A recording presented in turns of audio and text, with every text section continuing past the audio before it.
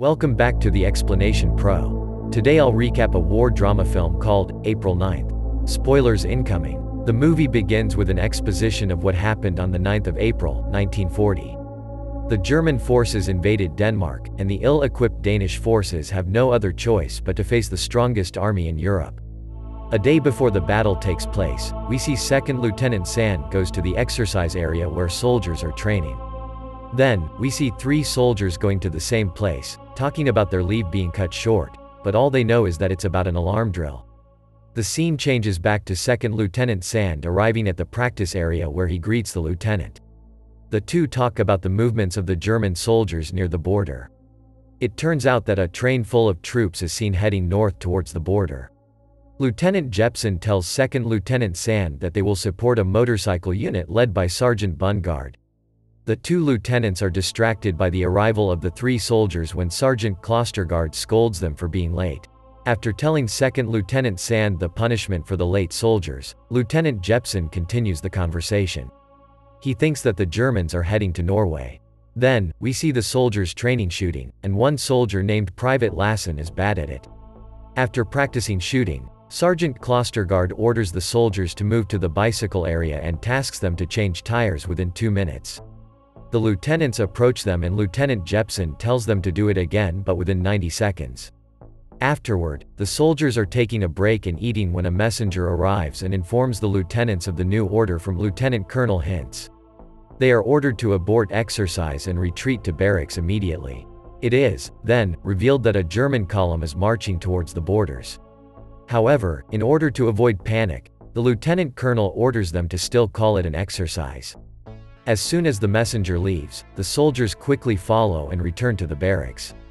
At night, Sergeant Klostergaard gives out the order to the soldiers. They are ordered sleep in uniform and always get their arms ready. They are also reminded to keep wearing their dog tags. The soldiers are obviously nervous, and suspect if the situation is still an exercise. Second Lieutenant Sand tells Lieutenant Jepsen that the soldiers need to know the truth to which the lieutenant agrees, but they cannot go against the order. Afterward, we see 2nd Lieutenant Sand loads bullets in his gun after writing a letter for his family. Meanwhile, at the border, two soldiers from Checkpoint 3 hear an activity from a distance and immediately report it to the officials. A soldier informs the officials of the heavy activity of the Germans near them. The lieutenant colonel asks how many Germans they have spotted but the soldiers can only hear them. He, then, orders them to stand by and wait for the orders. Lieutenant Colonel Hintz, then, calls the head of Jutland Division immediately. He requests if they can form a defensive position on the border. Unfortunately, they decline the request, saying that any Danish mobilization will be taken as confrontational by the Germans. After the meeting, 2nd Lieutenant Sand calls Sergeant Klostergaard for a surprise inspection in their platoon's barracks.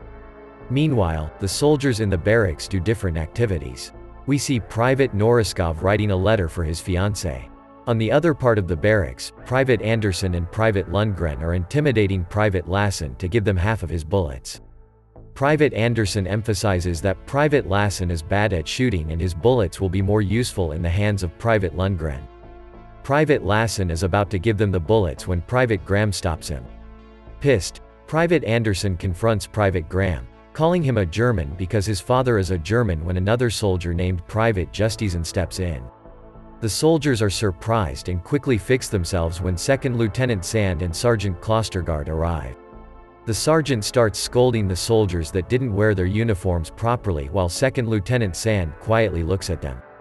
After the inspection, 2nd Lieutenant Sand takes out a cigarette when a soldier approaches and offers him a light.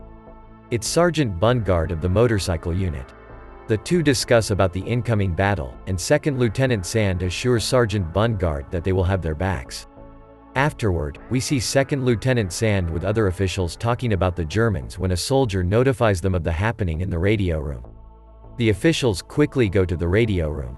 It turns out that the Germans already breached the border and Checkpoint 3 is under fire. The alarm goes off and all the soldiers prepare for battle. Meanwhile, 2nd Lieutenant Sand and Sergeant Bundgaard strategize how they will face the German forces. They plan to hold the highway until help from other units arrives for them to push back the Germans away. Afterward, 2nd Lieutenant Sand tells his platoon that Denmark is already at war and must fight well. Then, using their bicycles, they move out. It's already dawn when they hear gunshots from the distance. Later, they come across the motorcycle unit retreating after their first encounter with the Germans. Sergeant Bundgaard and his men were able to take down an armored vehicle and some German soldiers on foot, but there are too many of them. Second Lieutenant Sand asks how many and Sergeant Bundgaard answers that they have one or two companies supported by armored vehicles. He also reveals that the highway is already fallen. After their conversation, the motorcycle unit heads to the north while the bicycle unit stays to do as they are ordered. With 20 minutes before the reinforcements arrive, the platoon is divided into three units led by Lieutenant Jepsen, 2nd Lieutenant Sand, and Sergeant Klostergaard. Moving into their positions, 2nd Lieutenant Sand tells his unit to focus the machine gun on the armored vehicles and wait for the lieutenant's command before firing. After some time of waiting, the German forces arrive and with the lieutenant's order, Private Anderson who's handling the machine gun fires at the armored vehicles. Unfortunately, the bullets are just bouncing off the trucks, and the Germans shoot back. As soon as the German soldiers show themselves, the platoon takes them down. But they didn't expect that the soldiers will go for the machine gun and there are too many of them. Upon seeing that his unit and the two other units are struggling to fight off the Germans, 2nd Lieutenant Sand orders his men to retreat. Unfortunately, Private Anderson, Private Noriskov, and Private Kolding are too caught up in the shootout and they cannot just retreat. Private Anderson manages to take down an armored truck and Private Kolding is finishing the soldiers escaping, but he is shot by one of the armored vehicles.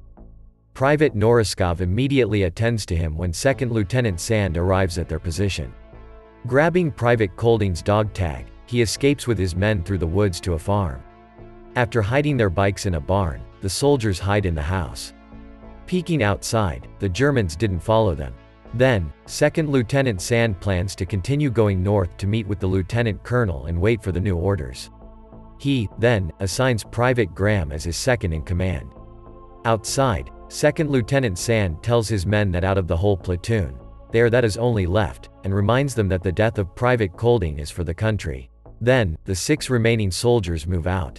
As soon as they reach their destination, 2nd Lieutenant Sand approaches the lieutenant colonel.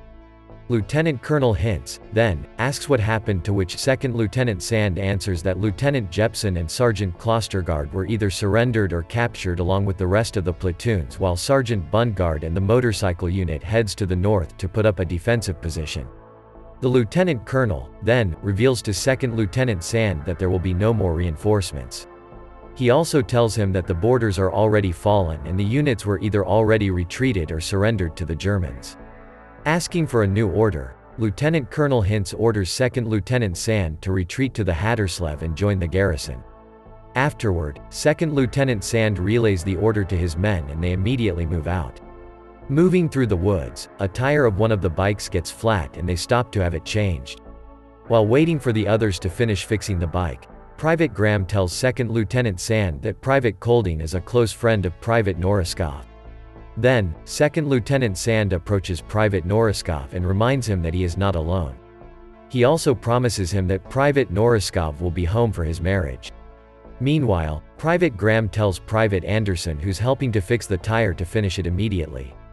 Pissed, he confronts Private Graham again and 2nd Lieutenant Sand stops them.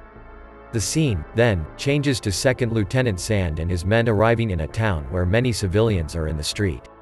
Second Lieutenant Sand asks Sergeant Bundgaard what is happening to which he answers that they were about to take their position but the civilians are all over the place. He, then, relays to the sergeant the new order, but Sergeant Bundgaard doesn't want to risk the lives of his men. Second Lieutenant Sand insists that they must follow orders. Meanwhile, Private Graham sees a civilian holding a flyer. Asking him about it, the civilians say it is dropped by a German plane. Showing the flyer to the second lieutenant, they discover that it is an appeal to the Danish soldiers and people not to offer resistance to the Norwegians. Then, the civilians spot the Germans coming. The soldiers quickly help the civilians to get out of the place while a shootout is happening. Unfortunately, a kid is shot dead and his mother can't do anything as his dead body is left on the street. Meanwhile, the soldiers retreat as they are outnumbered and running out of ammo. Using a truck they found, they travel to Haderslev. When they reach Haderslev, they find the motorcycle unit outside the barricade, not allowed to enter the town. Second LT Sand talks to the captain and he insists that they cannot enter as per the colonel's order. But when 2nd Lieutenant Sand tells the captain that they lost a comrade because they didn't come as reinforcements, he lets them enter. Then, they go directly to Colonel Hantz. Colonel Hantz apologizes for not backing them up earlier, explaining that they are ordered to defend the town. Second Lieutenant Sand, then, shows the flyer to Colonel Hantz and he already knows about it but did not care. Second Lieutenant Sand emphasizes that they are no match for the Germans but Colonel Hantz insists that an order is an order and they must follow it. He, then, orders his soldier to take 2nd Lieutenant Sand and his men to the North Road where they will help defend against the Germans. With no other choice, 2nd Lieutenant Sand tells his men to gather ammos and prepare for battle. Hearing gunshots from the distance, they hurriedly go to their assigned position.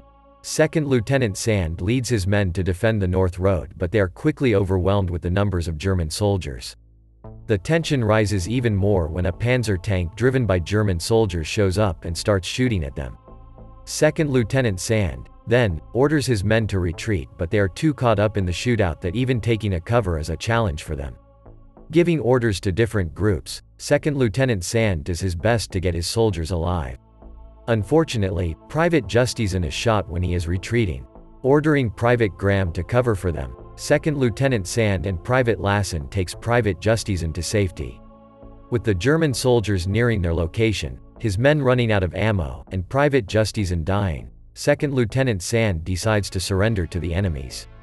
Ordering his men to put their weapons down, he asks Private Graham how to say, Don, shoot, we surrender, in German. Afterward, we see them captured. Putting out the pack of cigarettes that Sergeant Bundgaard gave earlier, 2nd Lieutenant Sand shares the pack with his men and they all smoke together. Unfortunately, Private Justesen died. They are taken by the Germans and before riding the bus, a German official named Lieutenant Becker talks to 2nd Lieutenant Sand with Private Graham translating for both of them. Lieutenant Becker asks why 2nd Lieutenant Sand keeps on fighting when their government already surrendered to the Germans. Surprised by what he hears, Second Lieutenant Sand decides to ride the bus with his men rather than riding Lieutenant Becker's car back to the barracks. On the bus, no one is speaking, but grief and exhaustion is seen on their faces while Private Graham is crying. Meanwhile, Second Lieutenant Sand is still shocked and frustrated upon learning the truth too late. As they travel, they see children playing in a German armored vehicle. The movie ends with an interview of the real people that participated in the war in Denmark on the 9th of April, 1940. Thank you so much for watching. If you enjoyed this video please hit the like button and also subscribe my channel for more videos like this. See you in the next video.